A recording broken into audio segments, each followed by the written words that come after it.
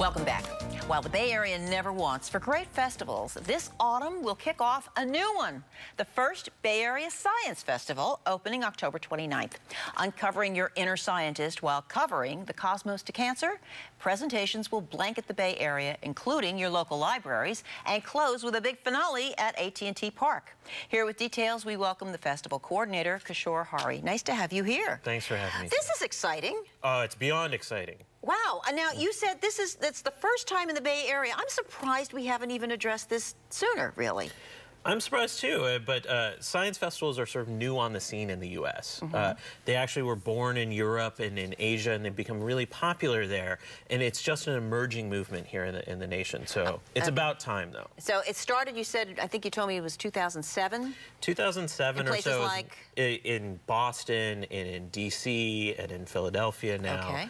Uh, pretty much now every major urban center across right. the country has them. So this is where we have pictures from those actual festivals? Yes. That have taken place. Okay, mm. I assume they're successful because San Francisco said, let's us do that too. So here's the question. You got a big scope. I, I went to your website and looked. Uh, mm -hmm. My gosh, there's everything from these moonlight walks, kind of the hikes, mm -hmm. uh, to look at the cosmos and to talk about why somebody becomes an addict. Wow. Um, this is targeted at, a lot of people would take a look at these pictures even now and say, well, this is for me to take my kids. Mm -hmm. But it's also for adults? Absolutely. So we have a lot of programs geared towards youth.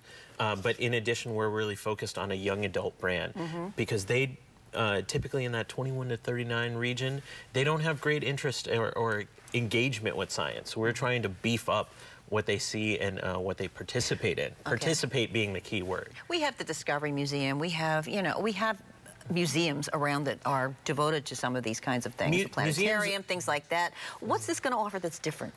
I mean, museums are, are wonderful, but with a festival, it's going to have the celebratory atmosphere. It's taking it into neighborhoods and communities. Mm -hmm. So we're really bringing science to your doorstep, where you live, and making it relevant to what you're interested in. Okay, you said it's it's going to be in the libraries even. All the are all Bay Area libraries going to have something going on? So two different counties have an initiative where they encourage everyone to read the same book. They're called One City, One Book initiatives.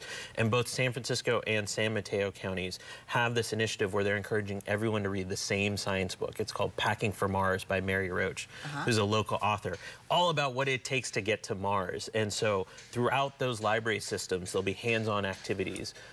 uh, related to astronomy and themes of the book. Mm -hmm. uh, it's a wonderful chance if, you live in those areas to, to not only experience science, but actually read it too. Okay, uh, they're going to talk about how close are we to a cure for cancer. Um, they're going to do these, these moonlight walks, kind of, I guess, to what, observe the stars? Well, it's a Bay Area star party, so about 15 different sites across the Bay Area, from parks to some of the major observatories will be hosting uh, a star party where there'll be telescopes set out in front with astronomers manning it.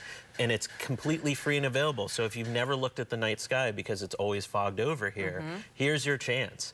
You can go and they'll give you a guided tour of the universe right I on spot. I took an astronomy course in science. I was terrible at it, but I do remember the night they mandated that we had to go to the top of the science building mm -hmm. and uh, look at the moon. They had a telescope. And I, I think I some expletive came out of my mouth. I was so stunned. but it was like the moon was right there. I mean, it was one of the most exciting things, and I remember it like it happened yesterday, and it was many years ago. So that kind of stuff is, is really at the end of the day, what this is all about is it's making it fun. It's reinvigorating our interest and pride. Mm -hmm. And I mm-hmm. want to emphasize pride because we are the leader of this country in terms of science and technology discoveries. Yeah. You remember that periodic table of the elements from yes. back in chemistry? Yes almost 10% of those elements were discovered by Bay Area researchers. No kidding. Uh, Didn't know with that. birth of the microprocessor, about half of the new sort of drug discoveries in the world are happening here in uh -huh. California. We have the highest concentration of Nobel laureates in the world. And we, so we have a lot to take pride in.